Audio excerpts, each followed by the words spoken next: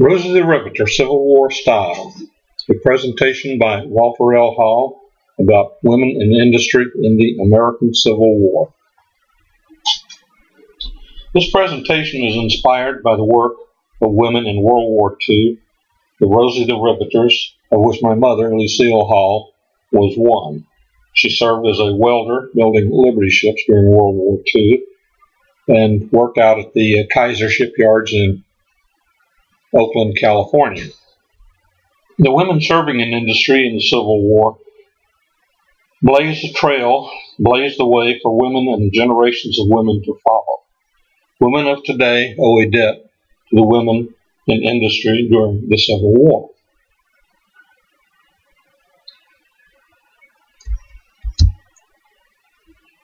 In this photograph here, we see a number of women riveters working on an aircraft. And for those of you who are not aware, uh, the skin of an aircraft is actually riveted together with what we would call today pop rivets. Uh, and here you can see a crew of women attaching the skin to an aircraft. And these were true riveters. On the other hand, uh, this is a World War II Liberty ship in this photograph. And this ship was also uh, built by women. Uh, these women, though, were welders, and this is what my mother did in World War II. She was a welder assembling these types of Liberty ships. The Liberty ships were about 450 feet long, 56 feet wide, uh, had a cruising range of 20,000 miles, and had a top speed of 13 miles per hour. And quite honestly, a fast swimming turtle with the tide going in his direction could probably pass one of these Liberty ships. The United States made over 2,200 of these ships during World War II, and we were actually reached a point where we were building these ships faster than the Germans and the Japanese were able to sink them. Comparing the North and the South, their industrialization during the Civil War is like comparing apples and oranges. Northern industrialization is well developed and mature, while Southern industrialization is still embryonic.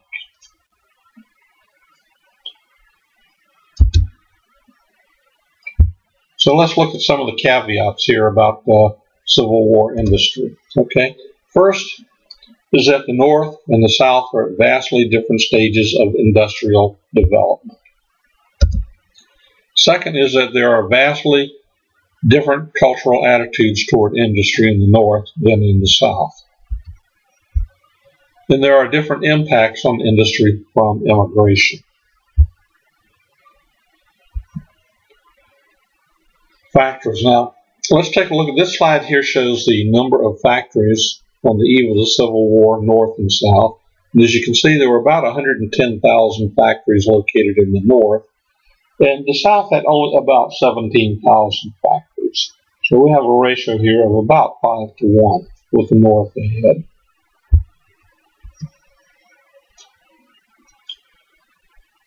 Looking at the regional patterns of manufacturing, and in this we're going to see that the Industrial Revolution has clearly taken roots by 1850, especially in uh, the New England states. And this chart is going to represent the per capita dollar amounts invested by regions and the value of the output from that investment, how much money they made from investing their dollars. The New England states are clearly leading the Industrial Revolution, followed by the middle states of New York, Pennsylvania, Maryland, and Delaware. In the South, in particular the Cotton South, trail far behind. So if you look on this graph or this chart, 1850 in New England, they're investing $57.96 per capita into industry, to manufacturing. In that same time period, that 57 or $58 investment brings them back a return of $100.71. The South, on the other hand, is investing only $7.60 per capita, and they are earning $10.88 off that investment. The Cotton South is even lower, where they're investing only $5.11 per capita. Remember, that's per 100 people. and they're making back only $6.83. so let's take a look now at the cotton exports from 1790 to 1815. And this is going to be actually two things. One, it's the period immediately following the uh, Constitution, and it also includes a period of time here during the War of 1812. So you see a lot of ups and downs on this graph out toward the period of time that covers the War of 1812. But that's not the part of the graph that we're interested in. What I want you to look at is this little dip here right after 1790. For those of you who uh, attended my presentation on the prelude to the Civil War, and you'll remember our discussion on why the northern states agreed to include slavery in the Constitution. Well, it was because they expected that slavery would die out within 20 years. And you can see from this graph here that uh, despite a small rise in it, it's actually on a decline. And that is until we hit the year 1797. And I'm sure that all of you sitting in the audience tonight know that in 1797, Mr. Eli Whitney created the cotton gin. This revolutionized the production of cotton and made cotton a viable economic uh, uh, product. And you can see from that point on, basically it continues to rise, although it will have periodic uh, falls off due to the economic uh, depressions or recessions. But basically, cotton exports will continue to rise. So let's take a look now at the uh, cotton and the as compared with the total exports in the period of 1815 to 1860. And if you had a, a little measuring tool, you could just be interesting to take and measure the gap between total exports, which is a solid top line in this graph, and the dotted line, which is beneath it for the cotton exports. And if you did, if you took that and measured it, you'd notice that for the most part, although there are local changes throughout this, the gap stays fairly consistent. But once you get out here to about 17, 1837, pardon me, 1837, uh, this gap basically starts widening except in a few cases of economic downturns. And by time of the evening of the eve of the Civil War, if you look at that, that is a huge gap between total exports and cotton exports. So the question is, is what happened here in 1837? And again, that's a significant thing because that's when the Lowell uh, textile mills in, up in New England went into operation, and that's when we started becoming the early part of the Industrial Revolution here in the United States, and when we were starting to become a major exporting nation. Again, cotton exports go up too, but uh, at this point in time, the uh, manufacturing exports are starting to outstrip cotton exports in importance. So, what are the factors that are affecting the rise of northern industrialization? And I've identified three here that we're going to look at tonight. And the first of these is the culture, northern culture technology that we will see in the north. And then lastly, immigration. So let's go and explore these one at a time, okay, and in a little more depth.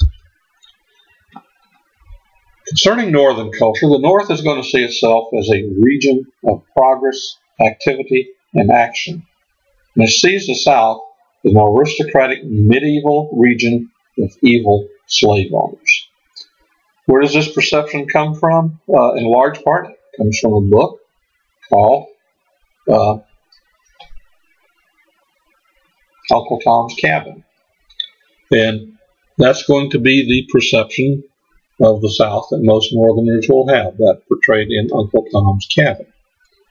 Well, how does the South look at this? Okay, in Southern culture, the South uh, sees itself as honorable, noble, followers of the code of chivalry, they see the North as corrupt, full of immigrants, urban, pasty white mechanics, people without honor, and wage slaves.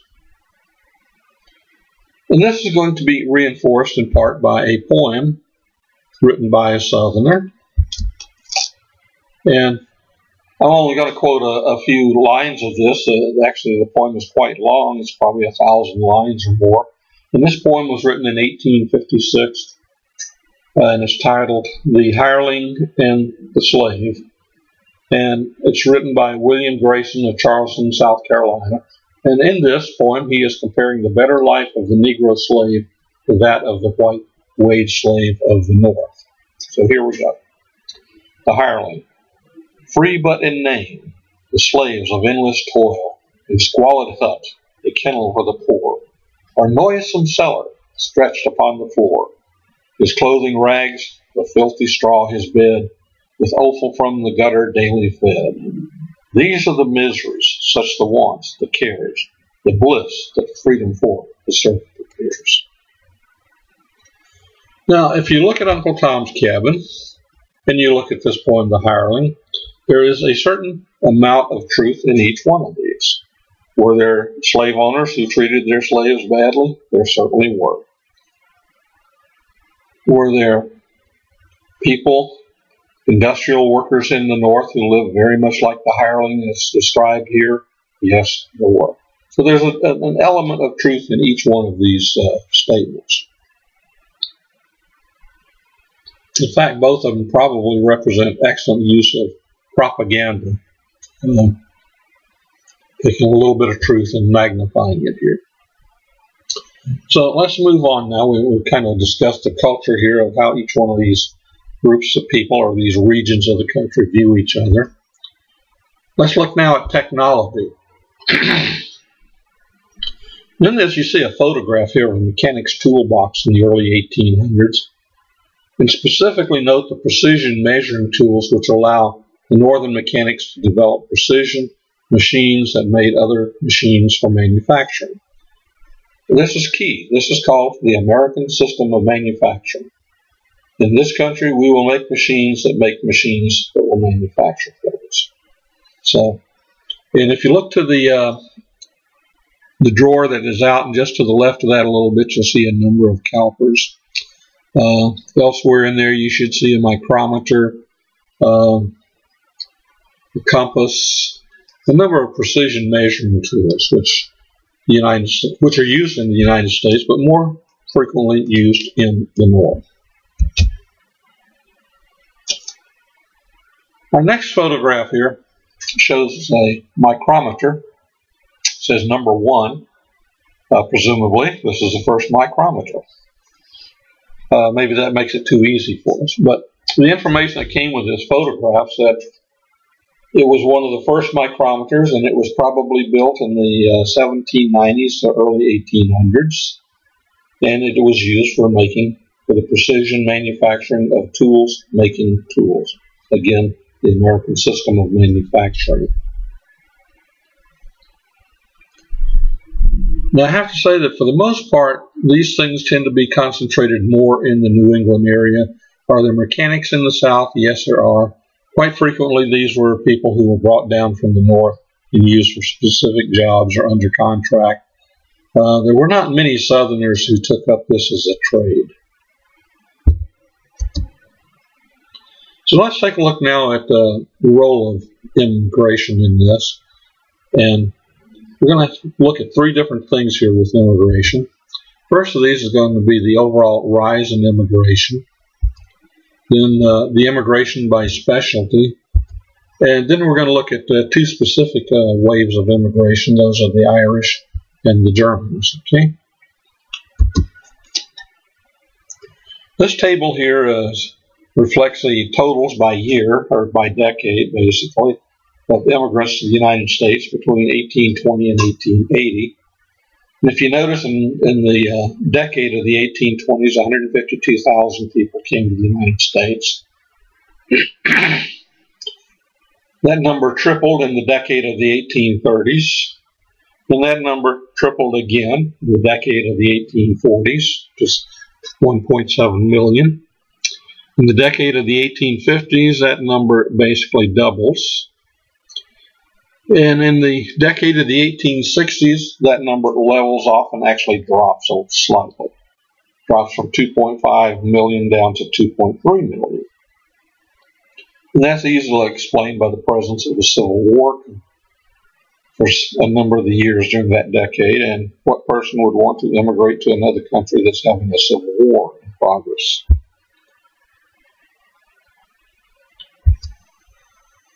Of equal interest to the numbers of immigrants are going to be the immigration by labor specialty. And we've identified four groups of people that we're looking at laborers, merchants, farmers, and weavers. And I'll start from the bottom of the list and work upward. Okay, weavers, uh, up until about 1830, there were 2,900 weavers that came into the country. Between 1830 and 1840, that number jumps up to 6,600. Uh, in the next decade, it drops down to 1,300.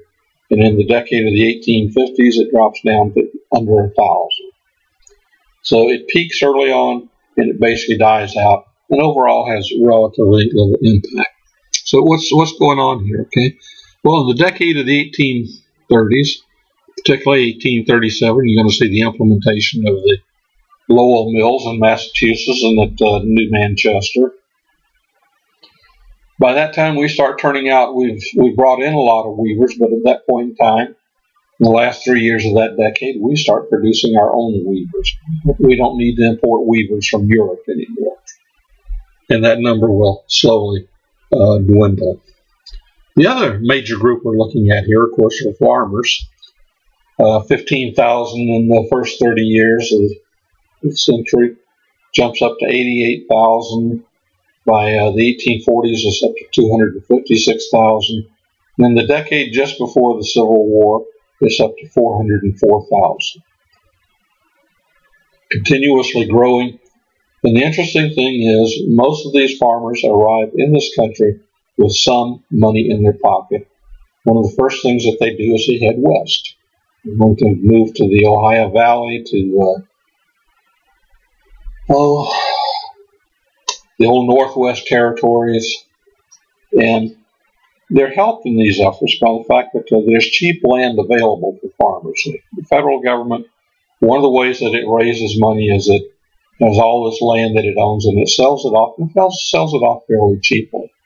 A lot of this land has been sold in large blocks to uh, uh, middle middlemen uh, the government's not in the business of financing these loans, but these middlemen are. So it's, it's fairly easy for farmers to be able to purchase adequate land and to still have some money in their pocket to get started with. Third group of importance are merchants. And again, you can see the number basically go up over the years. They, they never reach the number of the farmers or the uh, laborers, but there's a steady increase in merchants throughout the country. And merchants usually arrive in this country with money in their pocket. What is, that's one of the things you do as a merchant. You buy things, you sell things. So to buy and to sell, you have to have money. So as soon as the merchants usually arrive in this country, they too head west. They head down uh, to the Ohio Valley. They head to the Old Northwest Territories, down to the Mississippi uh, Basin, and they spread out and they go into business.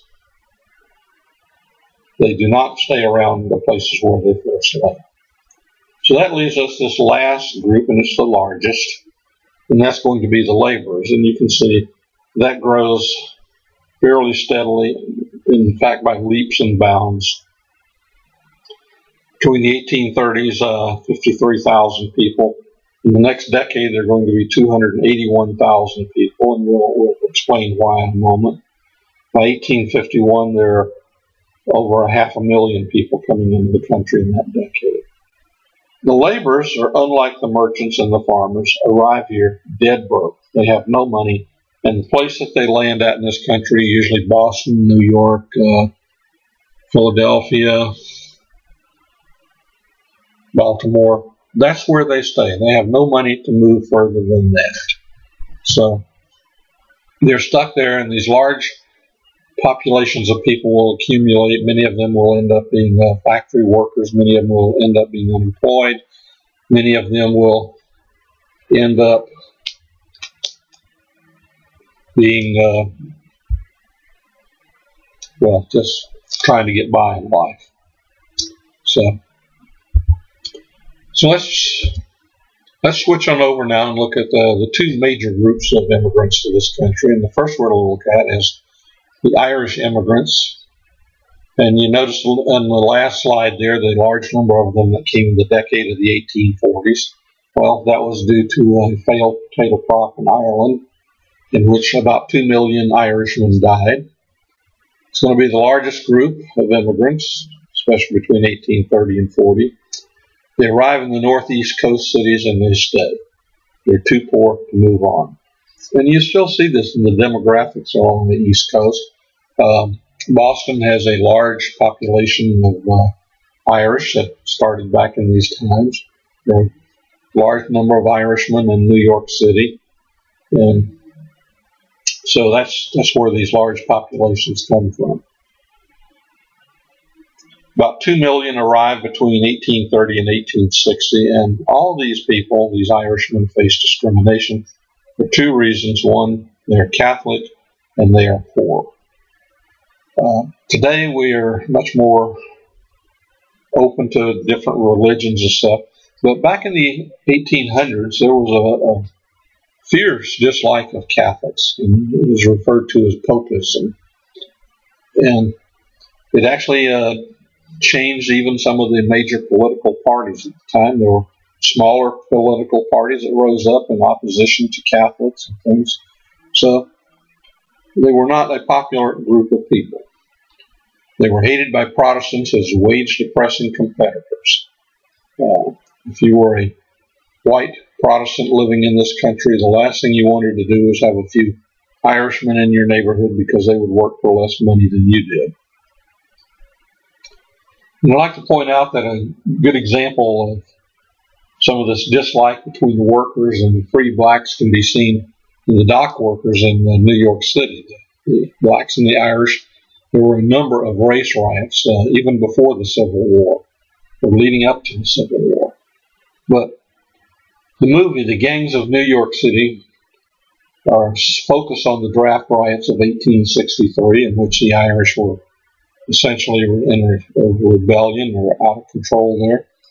And the federal regiments were dispatched from the battlefield at Gettysburg to New York City, where they mowed down the Irish rioters. Where only one week earlier they had been mowing down Confederates in Pickett's charge. And believe it or not, same troops, firing the same rifles at the Irish that they had fired at the Confederates.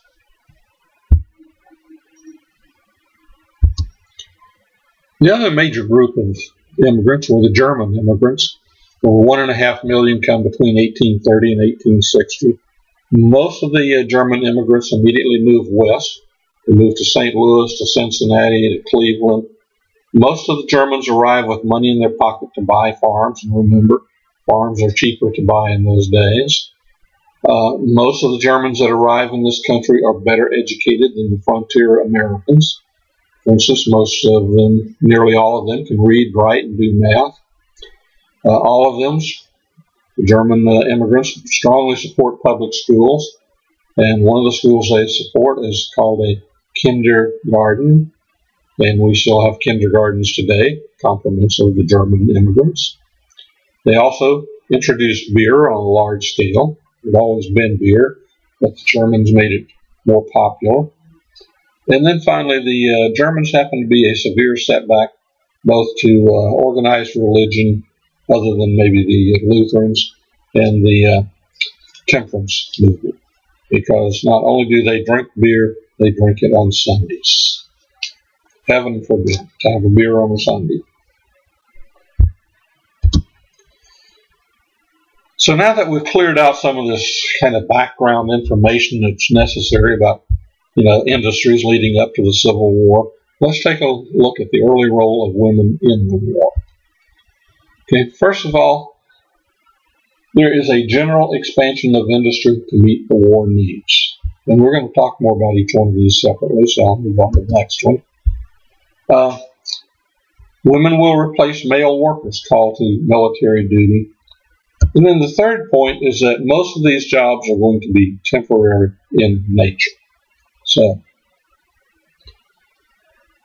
With the general expansion of industry to meet the war needs, that's because wars create more demand for more goods.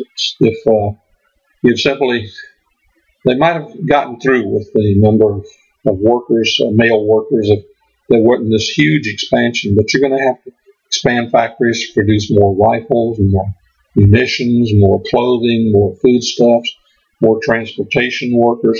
So it's a general widening of the industry itself. As a part of this widening, of course, male workers are called into military duty, and quite often, where they can, female workers will replace them. And the temporary nature of this is that what happens frequently after wars, and I know uh, there are probably not that many, no one in the audience, possibly except maybe Harris Young. But after the wars, when the men, the armies are demobilizing and the men are returning home, they come home to claim the jobs that they had before the war, and therefore the women that had these jobs are usually let go. What has happened here, though, is that having entered the job market, women entering the job market, their obviously their obvious quality has been seen, and a, after a short time after the war, women are quickly drawn back into the workforce. So it's only a temporary setback. What are the types of labor that women will perform in the war? Well, let's see. First of all, government civil service workers, munitions manufacturing, the textile industry, got to have those uniforms for the troops, nursing, take care of those injured on the battlefield, and what I call miscellaneous industrial work, which can be anything from uh, telegraphers to uh, school teachers and an assortment of other things. At that particular time, the Census Bureau had a listing of 300 job classifications. And out of these 300 job classifications, during the Civil War, women can be found in all but 67 fields of work. So they, are pretty much doing almost everything. Uh, unfortunately, my source didn't give me an example of the ones that they weren't doing, but I would imagine maybe coal mining and things like that. So we'll start by taking a look at the women in the munitions manufacturing industries. Like World War II, this is the glamour industry. Uh, it, and we have here a photograph of women at work in a munitions factory. And there are a couple features here I'd like to point out to you. First, of course, is notice that uh, they have these long dresses on and these bustles and everything. Not the safest type of clothing to wear into a place like that because up on this table they're going to be, looks like they're probably making cartridges here. And one of the things they're going to do is be ladling and pouring gunpowder into some paper cylinders, which we'll talk about in a minute. There will be loose gunpowder all over. Um, not the safest thing to do because if they were, we'll, we'll cover that in a minute. I'm also interested in the officer here. Uh, a little hard to tell, but it, he may have a shoulder strap on, which would indicate he is a federal officer, but the hat is that of a Confederate naval officer. So I'm a little confused as to the precise origins of the photo, and the person who gave it to me was couldn't couldn't um, provide that information either. So let's look at loading the rifle to musket. I'm sure many of you in the audience here have seen these uh, Minié balls. Notice how they are hollow on the end. They have some little uh, bands around there. This means when the bullet is fired, the uh, hot gases go up into that little concave area, expand that out, it fills the barrel, forcing the bullet out under higher pressure, which gives it a greater range and a greater accuracy.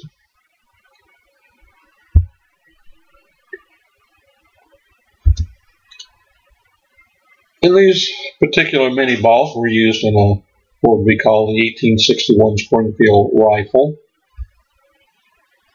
And this was one of the more common weapons used in the Civil War. There were actually about 75 different rifles used during the Civil War. but this is one of the more common. It was manufactured uh, at the Springfield, Massachusetts uh, arsenal. They manufactured 900,000 of these rifles, and another 800,000 were made by contractors. The Confederates used the same rifle, picking it up off the battlefield, or they primarily used the British Enfield rifle, which would have been very similar.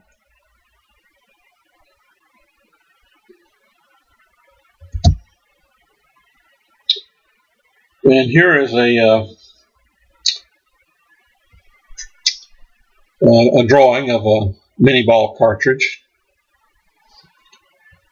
This cartridge was manufactured by taking a wooden dowel, a little piece of wood that was round to the right size there, and taking three sheets of paper and wrapping those three sheets of paper around that ball so that you ended up with a flat surface on the bottom, although this one may doesn't look flat.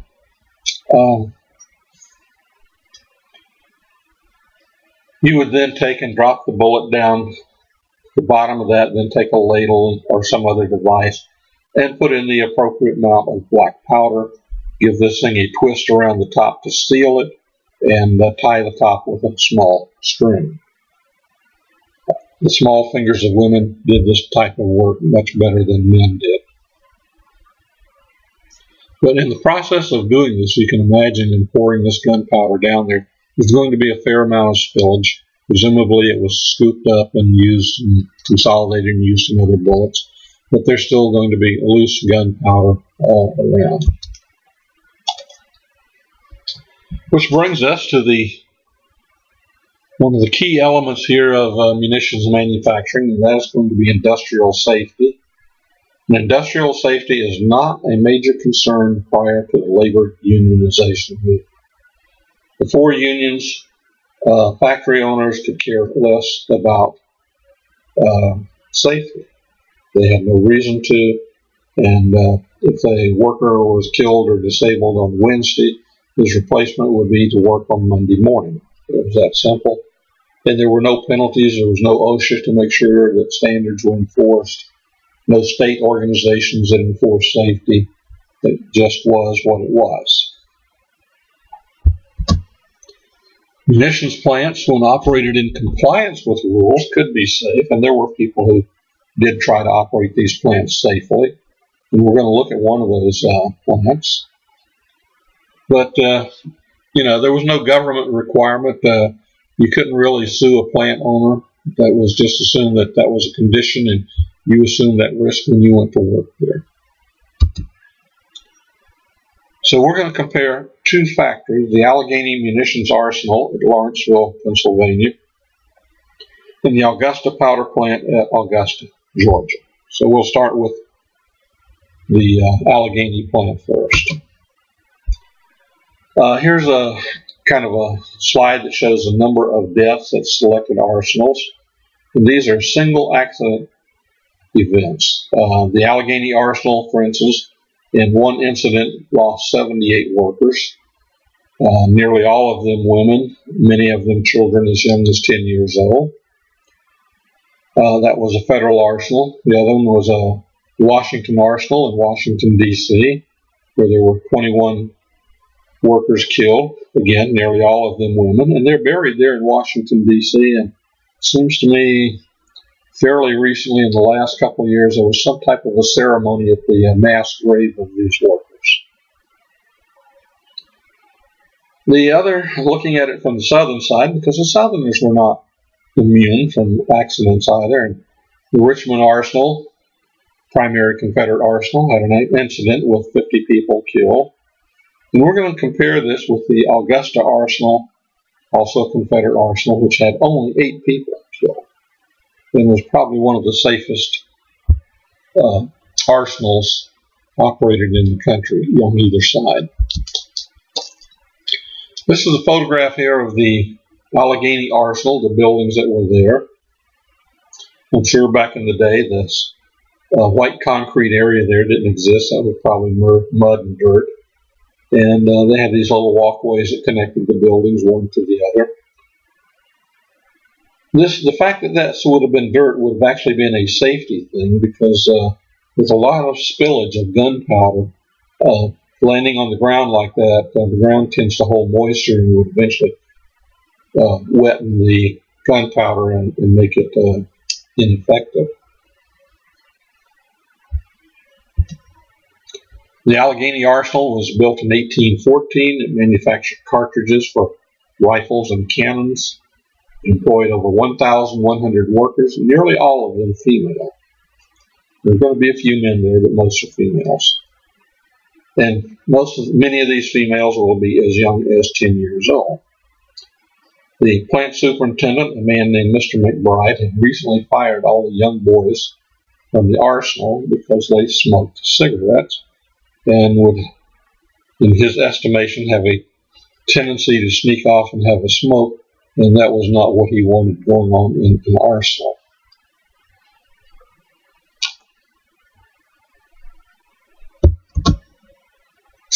So, the Allegheny incident or accident occurred on uh, Wednesday, September the 17th of 1862, and about 2 p.m. in the afternoon. Wednesdays was payday, and the arsenal had one had three army officers assigned to it.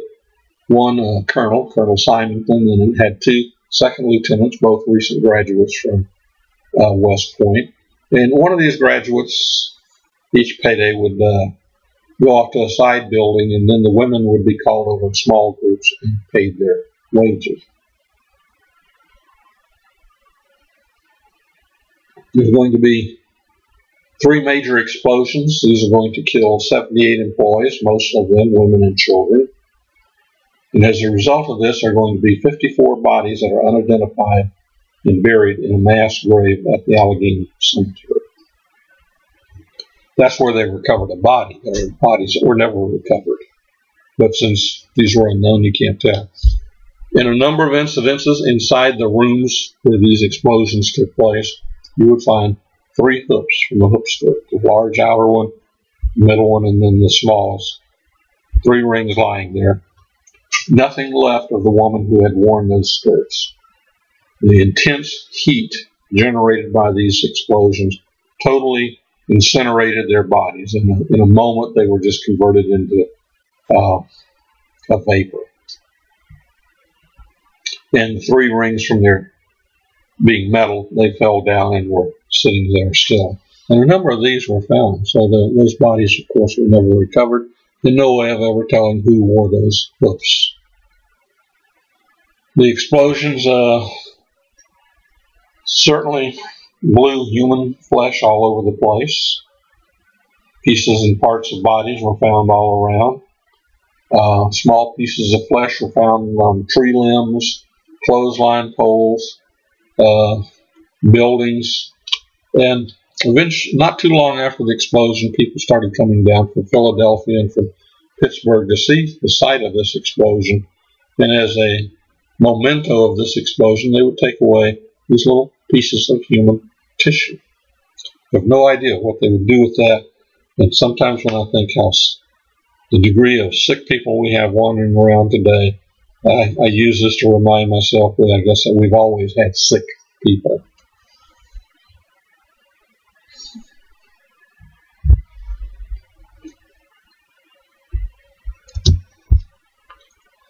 Okay, was this explosion investigated? Well, actually, no, it wasn't. Not initially. The townspeople wait because remember, this is mostly their friends and their relatives who've been killed.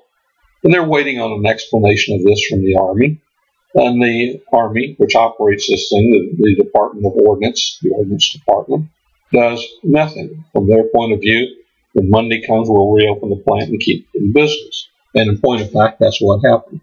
Remember, the explosion was on Wednesday. Uh, that gives them uh, Thursday and Friday to take care of things, have the funerals, and on Monday morning, the plant reopened in full production. So the Army has no concerns about this. So finally, a local coroner's jury of seven men is impaneled on September the 29th. They investigate the accident and they find that Colonel Symington, Lieutenants Eddy and Myers, and Superintendent McBride are guilty of neglect causing the accident. So, uh, get ahead of myself here a little bit, okay? And I'll say by the outline.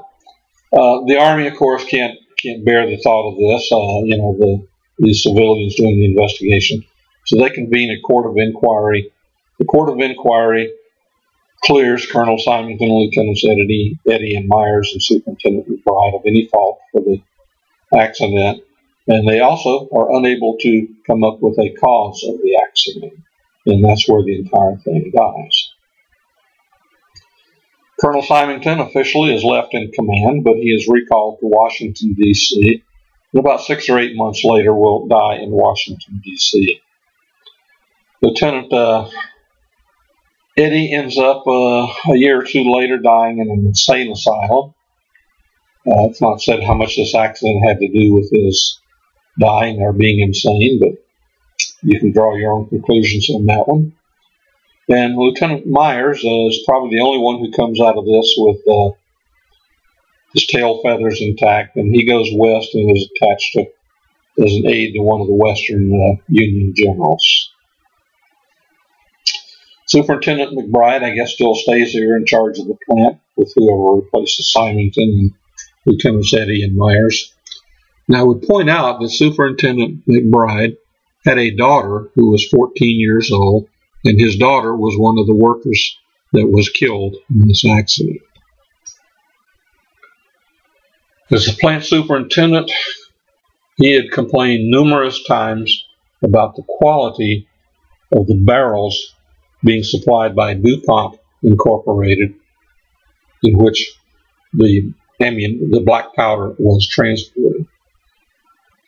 So that there were loose staves in the barrel and the barrel heads were not secure and this allowed the gunpowder to leak out. You would the gunpowder would come in on a train. It would be rolled off of some way another placed on wagons, transported up to the arsenal for use. When it arrived at the arsenal, it would then be stored in buildings until needed. And then when one of these smaller buildings where they're making cartridges needed uh, more gunpowder, then they would simply roll this barrel out and possibly even just roll it up to the building again leaving a trail of gunpowder. I would point out to you that uh, this is the DuPont chemical company that we all know and love today.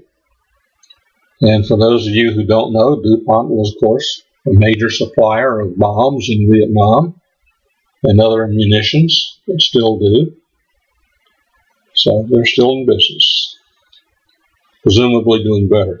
They also make lots of other things. They're basically in the chemical industry, and explosions, explosives are the form of a chemical.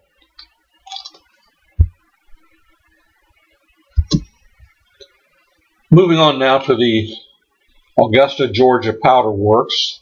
And the photograph you're looking at here is the surviving building of the Augusta Powder Plant. And there were 26 buildings that made up this uh, powder plant, and this is the only one surviving to today. The others have all been torn down and have disappeared. But these series of buildings were the only permanent buildings ever built by the Confederate States government. They occupied buildings, they leased buildings, they captured buildings, but this is the only one that the Confederate government set out to build from scratch. I point out two things. First of all, that tall obelisk there in front, it actually served no purpose. It serves no purpose now, and even in the Civil War, it served no purpose. Uh, seems to me a lot of time and effort went into making something that served no purpose. And then the second thing is this uh, Gothic uh, frontage to this building is modeled on that of the uh, British Parliament. So And again, just to summarize, it's a complex of 26 buildings, includes refineries, laboratories, rolling mills, test ranges. By the end of the war, the gunpowder produced at this plant surpasses Europe's best facilities to produce arguably the finest grade of gunpowder in the world.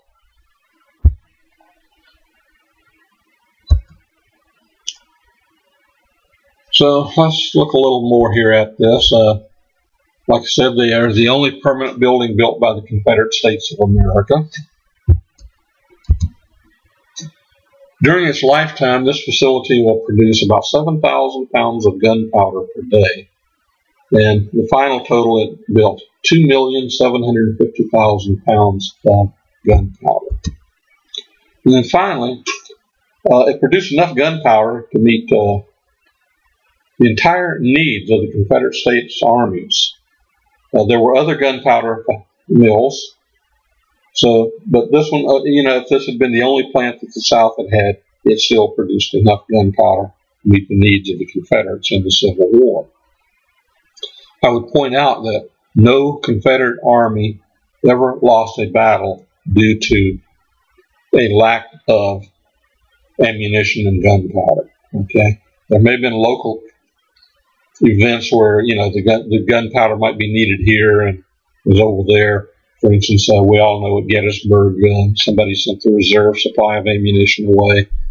Uh, but those were local events. The Army itself still had plenty of gunpowder. And on the day that the colonel commanding this arsenal put the padlock on the door and walked away, there were still 70,000 pounds of gunpowder sitting in the plant. So let's look at a little bit here at uh, the Augusta Powder Works and how it was built. This one was built, as I said, from scratch. Uh, actually, there were some designs from uh, have been available to the Confederacy for munitions buildings and plants from Europe, and these were used in constructing this one. And so, as customary for gunpowder mills, the buildings were separated and designed to survive explosions. So, separated, each building had there was a distance of 200 feet between it and another building. One of the parts of the design to survive was that the roofs were made very flimsy. Uh, if inside these buildings, if you had an explosion, you wanted the force of the explosion to go up into the air. You did not want to contain the explosion within the building and have it blow out the walls laterally. You wanted it to go vertical. And to help keep these explosions within the building, should they occur, uh, it had 20 foot thick walls, uh, basically an outer wall and inner wall, and the inner part filled with uh, stones and uh, dirt. So these were, it was pretty well made, and that might contribute to the fact that it had very few people killed and no major accidents. Raw materials, they would start at one end of this plant. They were refined and ground with five-ton wheels, and then the finished powder would be load, loaded a mile and a half down the line. The saltpeter refinery building was the largest and was designed in the Gothic style as a replica of the British House of Parliament, and that was the building we saw here at the front of the slides on the Augusta powder plant.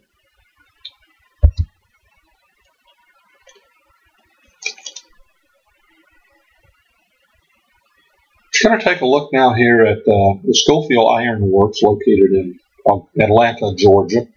And this is a before picture, and not that it's necessarily a part of this, but if you kind of look real close, uh, that to me looks like a woman, at least one woman in there. It's kind of hard to tell. This is a very grainy photograph, but maybe a woman there, but that's not the point of the photograph. The point of the photograph is this is what the ironworks look like before. And now we're going to show you uh, an after photograph, okay? This is the ironworks after. Then your question might be, after what? after a meteorite hit the plant? Well, almost. This, this photo is taken at the site of the previous photo, and it shows the effect of 80 carloads of ammunition blowing up. Remember, this is in Atlanta, Georgia. Hood's reserve supply of ammunition is loaded on 80 carloads. Several days before, and, and Hood's aware he's going to have to evacuate Atlanta, he asks his chief of staff to make sure that he gets his ammunition out of town. That, uh, well, the chief of staff doesn't do this. Eventually, a court of inquiry is uh, convened to see that it's his fault because this ammunition has to be blown up in place. You don't want to leave it for the Union Army. And the Chief of Staff is the one who takes the blame for this event. My personal opinion is it is the fault of General Hood. General Hood's headquarters was only a few blocks away from this site, and at any moment, every day, he had to get into his horse. He had to be lifted onto his horse. As he rode around the town, he had to obviously see that the ammunition was still sitting there. And why did he not say to his chief of staff, Why haven't you done as I have told you to do? Um, and the other reason I blame him is I like the uh, Truman doctrine. The buck stops here, and uh, Hood had no problem blaming us on somebody else, as you'll see later on in, in other. For instance, in the presentation I do on the Battle of Franklin, Hood has no problem blaming other people for lots of other things that are quite often his own fault. But the point of this photograph is that within 30 days after this explosion, the women of the South working in these manufacturing plants had completely replaced that 80 cars of ammunition. Remember, that's the reserve supply. They still supplied the regular supply of ammunition. So I think that's an amazing tribute to the women of the South that they could make up for Hood's mistake so quickly. He didn't deserve such good service as he got out of that. Now let's move on. Uh, we've covered the munitions operators. Let's take a look now at telegraph operators. And here you see a uh, replica of an 1863 code key. An interpretive straight lever key is called. And I include these telegraph operators because I have an affection for them. My grandfather was a telegrapher in the uh, 1880s and 90s and therefore I have a strong like of telegraphers. He was a telegrapher at what is now Orlando, Florida. I have in my possession a letter written from him in the 1880s or 90s in which he states he has not seen another human being for over a week that was not on a train passing through his radio, his uh, telegraph station. You can imagine today there are several hundred thousand visitors per day in a place that he had not seen anyone for a week.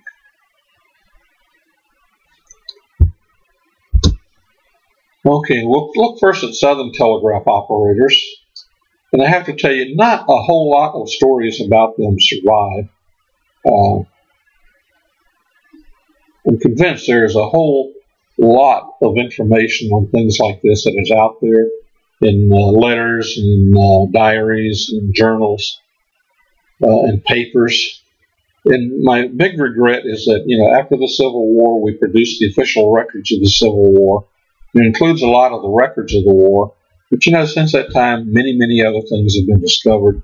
And there's no systematic way of organizing them like there was with the official records. So there's probably stuff out there we just don't know where it is. Southern telegraphy is not federalized as in the North. Lincoln will uh, federalize them.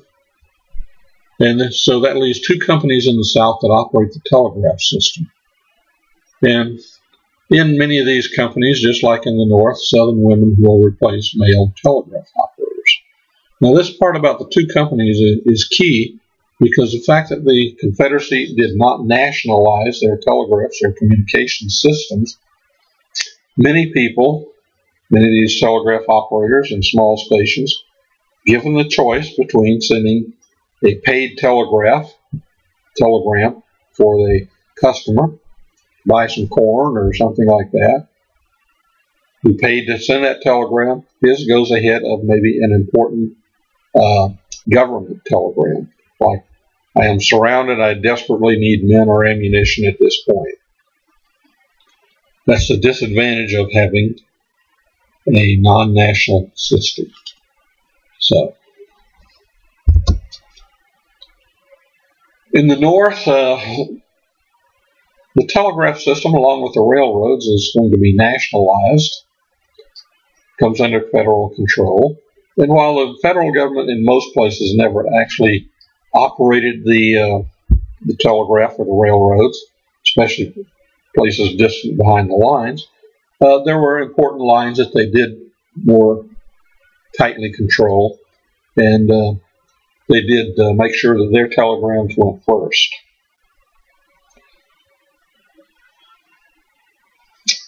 Telegraphy is more developed in the north. Remember, for the most part, telegram telegraph lines go along the railroads, and uh, the north simply had three or four times as many railroads as the south, so they had many more uh, miles of telegraph wire and touching more towns than in the south, and therefore they had a greater need for operators. The problem that they ran into in the north was that in many of these small towns there wasn't enough telegraph traffic to uh, pay an operator full salary. And they got around this by uh, hiring women who would work for less. And if you've ever seen pictures of the early uh, telephone exchanges, quite often those were in somebody's house, especially very early on, where they could, it was just kind of a, you know, a wife, woman could be in there cooking dinner. She could hear in the other room a phone call being made and run in there and make the connections and then go back to cook some dinner. Volume was low. Uh, and that seemed to work out. Well, a lot of times that's the way it worked with these telegraph operators. Uh, the station might be there in someone's home. And again, women can be hired for less money than men. And a typical example is this Helen N. Plummer, who became an operator for the Erie and Michigan Telegraph Company in about 1850. Her starting fast salary is $825 a year. And you divide that by 12, and that's making $10 a month. I want to take a look here at uh, this young lady. This is uh, her name is Louisa Volker. She's a St. Louis telegraph operator. The first military telegraph operator, female military operator west of the Mississippi. And she becomes a member of the uh, Federal Military Telegraph Corps of the Union Army. Probably volunteered since they couldn't draft her and she was accepted due to the shortage of military telegraph operators in the area. She uh, worked out at Mineral Point, Missouri. And uh, for those of you who are interested in the Missouri Civil War history, of course, that was an area of active military operations at Mineral Point, and that uh, oh trying to think, Pilot Knob. Okay, those those are some Civil War names of battles, and she was actually in there in Pilot Knob, I believe, when the Confederate cavalry came in there. So, one of the lady heroes right there, kind of on the very front lines of uh, telegraphy and military communications. And her transmissions were very important to the Union Army about Confederate operations around there. I'm going to skip over these next people. Uh, this is uh, Elizabeth Cogley and uh, Emma Hunt and Hetty Ogle and Abby Struble because we simply don't have time. We're going to move on to the textile but it's important to recognize the work of the uh, telegraph operators in the Civil War. Okay? The largest group of uh, women in the Civil War working in industry are going to be in the textile industries. And here we have a photograph of a child worker, I'm, I'm guessing, looking at her, probably 15, maybe 16. And I want to point out a couple of things in this photograph. First of all, uh, notice that dress that she is wearing. One, she's got on a little apron in the front of her. Uh, but it's up above her ankles, It's short, Notice that she has no bustle on. This is a much safer set of clothing than we saw the women in that earlier photograph uh, sitting there loading cartridges, wearing these really long dresses that drag the floor and scooping up black powder. and uh, the bustles that would uh, eventually catch on fire.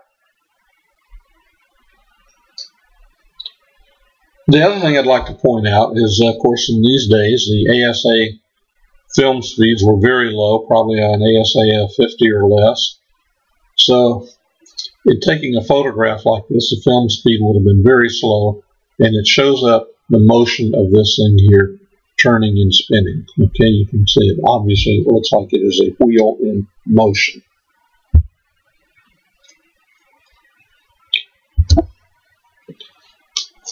Next item we're looking at here is called the Lowell offerings.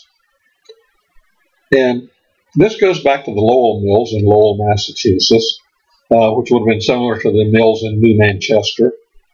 And these mills went into operation in about 1837. And they employed young women, young New England women, from primarily from Puritan farms. Okay? Well, these Puritan farmers were not likely to give up their daughters to go and live in Gotham City of sin and stuff. They wanted to make sure that their daughters were in a healthy environment, healthy morally, spiritually, uh, as well as physically. So the Lowell Mills, when they were constructed, they built residences there, boarding houses, and each one of these boarding houses was operated by an older woman, a matron, who was on the payroll with the salary of uh, the mills. And these girls would, uh, when they would accept a job there, they would go and live in one of these boarding houses. They had to pay for that a dollar and fifty cents a week out of their wages, and they were given uh, a room, a bed, probably not a private room. They were probably, I don't know, no idea how many women slept in the same room, but you know they were they were given a bed and they were given their meals. These boarding houses, uh, I have to say that these jobs in Lowell, Massachusetts, were some of the first to come with company health care benefits. Whoa, 1837 health care benefits. Okay, well, the benefit was not terribly great, but it was a benefit, and that was a free smallpox shot. The company would pay for your smallpox immunization because the last thing they wanted was all these people crowded together in close living quarters to have smallpox go through them real fast. The other thing that these uh, companies provided, it was provided at these boarding houses, was a separate room for the sick. If a girl was obviously uh, ill and likely to be contagious, the matron of the uh, boarding house, of course, would notify her supervisor, but she would also move her into this private room that she would occupy during the period of time that she was sick so that she did not contaminate the entire workforce.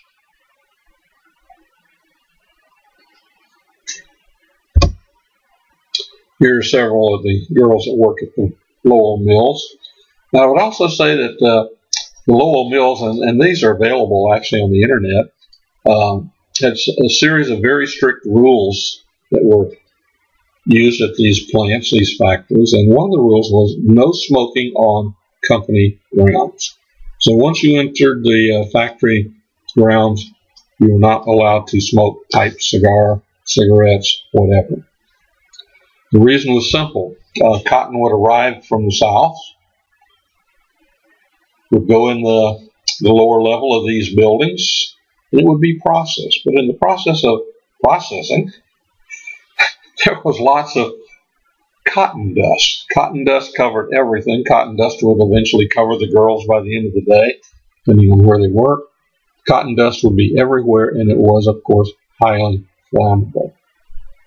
So, one of the rules was no smoking, no open fires in these buildings.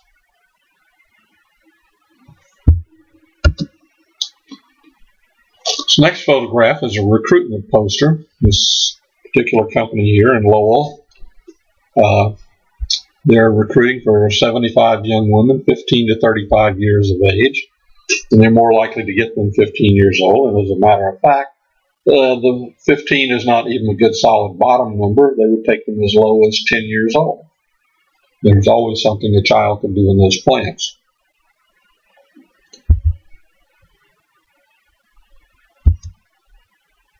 And here's a photograph of the mills here in Lowell. And I want you to kind of remember what these buildings look like, okay? Because we're going to look at some in a little while down in Roswell, Georgia, and down in New Manchester, Georgia. And you're going to look at the similarities between them. But I like this photograph because if you look down front here, the man standing by the tree, there is a dog there. Almost looks like it's probably a poodle since it's got kind of that fluffy tail on the end. And then over by the man on horseback, there's a dog laying there next to the horse. I'm a dog person, so people can't be all bad if they have dogs.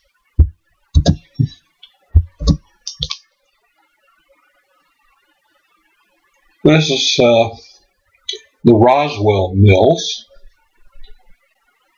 uh, down in Roswell, Georgia. It's just off of Interstate 75, uh, maybe 15 or 20 miles northwest, uh, northeast, I guess, of Atlanta. And these mills were built in 1837 also, interestingly enough. And these were built by a man named Roswell King. Roswell King came over here uh, somewhat before that, along with uh, a very distant multiple cousin back of mine named uh, Stephen Bulloch. And they were out here looking for a place to build another town. Bulloch had his own reasons for wanting to leave Savannah. Uh, and Roswell King was looking for a place to build up. And his intent in building this, these mills at Roswell, Georgia, was that these would not be operated by slaves, that these mills would offer employment to young single white women for whom there was not many employment operations in the uh, antebellum South. And you can see here, just kind of look the similarity, similarity there of that building. There were five buildings like this in Roswell, and uh, these will be burned when Sherman's troops come through there in 1864. I have an excellent presentation on that that you should hear sometime. Sherman's March. Was it a war crime? Here's a photograph of the mill, one of the mills at uh, New Manchester, Georgia, which is uh, only about five or ten miles away from Roswell. And if you look at that again, you can see the similarity to that building, although most of it's burned out. This also was burned down by Sherman in uh, 1864. But I find this photograph interesting. First of all, it's a high angle shot from a helicopter or an airplane. I look at how desolate the land around there looks. I don't know what caused that. I have been passing through the area, asked about the possibility of going up to this building, and been told that it was actually not safe to do because this area now is entirely covered with trees, with kudzu, with brambles, uh, underneath these kudzu and brambles, it is loaded with rattlesnakes, moccasins, coral snakes, and ticks. And that it's to venture in there is almost to put your life at risk. And I, uh, I'd like to get a brick from this place. I'm not that desperate to get a brick from it. The, the people in these factories in Georgia, they will be uh, marched off. The ones from Roswell, 1,200 women, will be placed on trains sent to the north into Indiana. They will disappear. They have never, for the most part, never been heard from since. Out of the 1,200 women, about six of those women ever made their way back to their homes in Roswell, Georgia after the war. New Manchester was different. It was a uh, different Army officer who came to this town, and he made them an offer that they couldn't refuse. He says, "Okay, here's what the deal is. If you will sign your parole, remember these are civilian workers, not soldiers. You will sign your parole saying that you will not work for the Confederate government for the rest of the war. I will not take you. I will leave you here. I'll open up the company warehouse because there was a commissary there that provided the workers with food and stuff. You can take the food, you can live in the uh, houses that the company provides. I only ask that you do not lift a hand to help the Confederacy for the rest of the war. About 1,000 people took advantage of that, and about 250 said no, and they went north with the uh, people from Roswell, and like uh, the ones in Roswell, have never been heard from since. This is documented. Okay, it's documented in the official records of the Civil War. This is not some kind of a story that has been made up. So it's true. So let's here again just an inside shot of what one of these mules look like. So let's move on to teachers now, okay? In 1860, 25% of all teachers are women. Now the war's in. Uh, the two thirds of all teachers will be women, and the achievement of women teachers is going to establish the foundation of the profession of teaching today in the United States. It is difficult to locate pay data for teachers, but we know it was probably low, probably based on the number of students they taught. And the one anecdotal reference I can find is to a teacher, lady teacher, who taught 12 students and was paid 50 cents per month per student, which gave her a $6 a month income. And actually, that's probably a fairly good income when you look at some that we're going to look at here in just a moment. Okay. Uh, the other large group we mentioned earlier were civil service workers. Uh, all kinds of figures are hard to get about the Civil War. You know, with women and employment, uh, there are a number of books out about women in the Civil War, but they really don't discuss these topics. They don't discuss the topic of pay, types of jobs they did, working conditions, or what have you. It's just sort of like they're mentioned, and that's it. Uh, federal, state, and local and businesses uh, discover that women as employees are make good employees. They start off basically as clerks, bookkeepers, stenographers, receptionists, and when foreign travelers visit Washington, D.C., where there are numerous uh, women, which I guess would have been probably called girls, there are numerous girls working for the government, and they're intrigued by what are called government girls.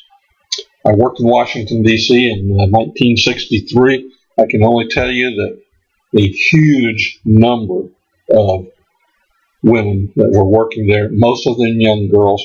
Were recruited from all over the United States to go to Washington for work. Indeed, the federal government leased a hotel. These girls, when they would arrive in Washington, D.C., would be put up there for a couple months where they would meet other young girls, match up in little groups, and go out and rent themselves apartments. And that was like a shark breeding ground. I mean, they were like chum thrown out to attract us young men.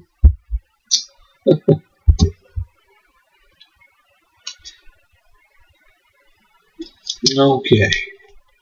Government employment is going to be very precarious at any time in the early, in most of the 1800s, because of the winner take all political appointments. virtually every job, whether you were a janitor or the postmaster was a political job and uh, subject to political appointment. There was no civil service.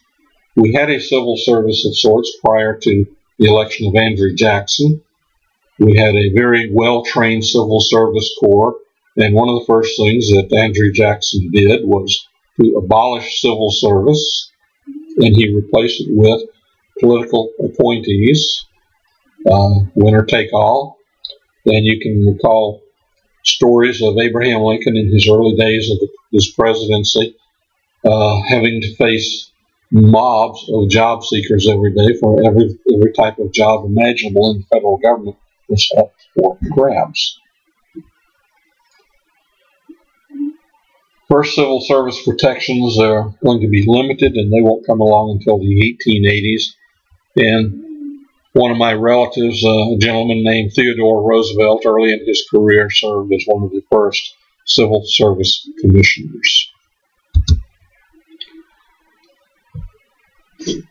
After the war, General President Grant will appoint more than 200 women as federal postmasters. And we're going to talk about two of them here. One is the wife of uh, Armistead Long, who was a colonel in the Confederate Army, who had only one arm at this time. His wife was given an appointment as the federal postmaster in their town. And the other uh, was the appointment of Emma Van Lew. And for those of you who've uh, sat through my presentation on women spies of the Civil War, you'll remember her name as being the Union spy master in Richmond, Virginia during the war. Her job lasted as long as uh, Grant was president. When a new president came in, it was nothing personal. She was let go. She ended up working in the post office, however, as a postal employee for the rest of her life, but not as a postmaster. Uh, by 1890, there are going to be more than 1,100 women who are working at the Census Bureau, and you had to take a math test to get a job there. We're finally getting to the point in time where, you know, there's some of the civil service rules and there's some standards that you have to meet to get a job. And more than half of these women, that would be about 550 of these women, score higher than 85% on the math exam. Maybe we're fortunate they don't say what the men scored. Okay. Kind of in wrapping up, we're going to take a look here at the economy during the Civil War. And like all wars, the rich get rich. This is not just to pick on Civil War rich, but uh, pretty much in every war, people make money off of war. Uh, there are huge contracts that are let. We talked about in the Civil War. DuPont Incorporated having a contract to provide gunpowder, and I'm sure they made a lot of money making that gunpowder for them. Uh, AT&T actually was a corporation back then too, which made money. war profiteering is going to be common. It's common in every single war. People make unholy profits from war. Union manufacturers are going to double and triple the amount of dividends that they pay during the war. Uh, the newly rich are going to build lavish homes, acquire carriages, silk clothing, and jewelry. And there's going to be a public outrage that such conduct is unbecoming and even immoral during war. However, I don't know that most people did much about it. So we're going to come to what I call the two percenters, and we have two percenters today who are in our country who are willing to uh, crash our country into the ground uh, as long as they get their uh, their wealth. And here are some of the uh, folks that are a part of the two percenters, and notice the elaborate uh, dresses that these women are wearing, and they are making gloves and uh, socks for soldiers in the army. And this is a very early on photograph. This was taken in June of 1861. So they're out, they're doing their patriotic duty, but again, these are among the 2%, the upper elites of the country. So let's take a look now at the 98%, okay, what I call the 98 percenters. Well, their salaries are going to shrink in real terms due to inflation. Okay, uh, along with uh, wars and people making obscene profits, also comes inflation uh, which will usually hurt the uh, lower end of the spectrum. Prices of beef, rice, and sugar are going to double from pre-war levels. Salaries are going to rise only half as fast as prices. And these are all standard things that go with war. During, during World War II, we kind of had ways to control that. We had the uh, OPA, the Office of Price Administration, which determined the federal government determined what you could charge for something. So these, these were somewhat minimized in World War II, but uh, they had not, they didn't have these uh, political establishments in the Civil War.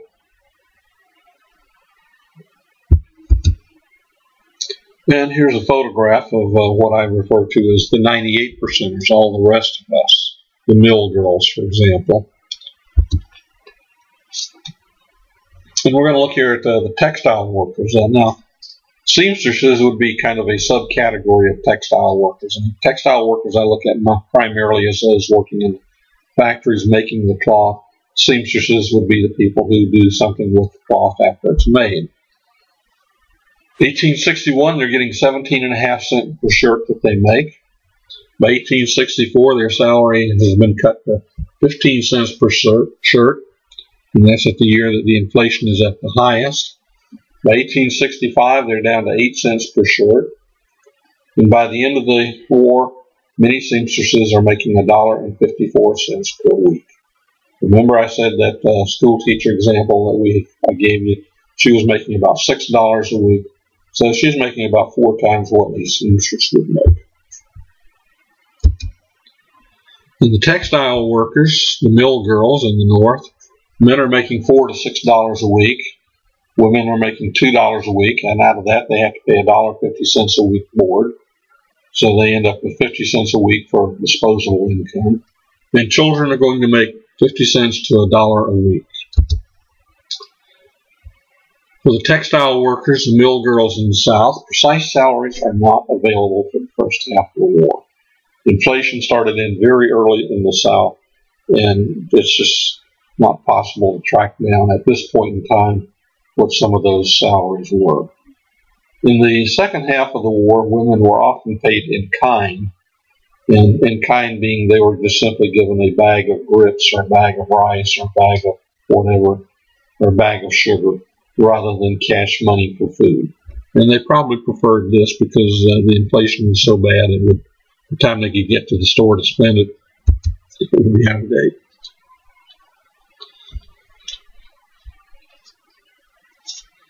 Okay, the Postal Department, okay, in the Dead Letter Office in Washington, D.C., there are 32 employees.